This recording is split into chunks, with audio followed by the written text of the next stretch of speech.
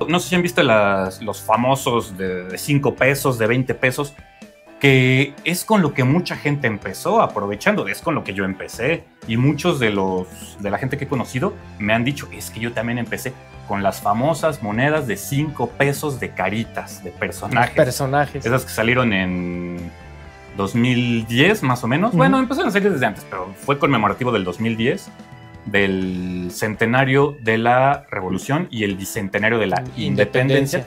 Y sacaron monedas con los personajes. Esas monitas eran los tazos para los coleccionistas, digo. eh, el, el- el equivalente. Entonces, ay, mira, ya tengo esta, ya tengo esta, ah, me falta esta, te la cambio, te la compro. O sea, hay veces que hasta pues bueno, también se, se hace negocio, ¿no? Se hace business con esto, hay que, hay que reconocerlo también. Porque yo así empecé con las monitas de 5 pesos. Ah, pues ya tengo todas. Ay, me sigo con las de 20. Ah, ya tengo todas. Ay, a ver ahora qué más se me ocurre, ¿no? A ver, a ver, ¿a, a qué más le voy, a, le voy agarrando el gusto?